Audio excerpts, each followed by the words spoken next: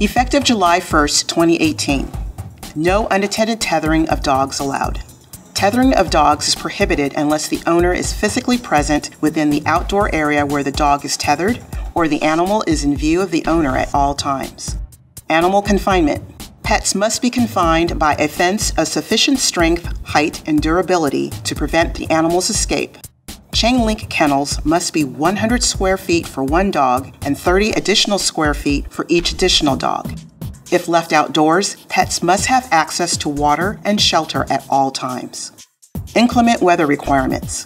Dogs may not be left outside when a freeze warning has been issued by the National Weather Service, a heat warning has been issued by the National Weather Service, the National Weather Service issues a hurricane, tropical storm, or tornado warning.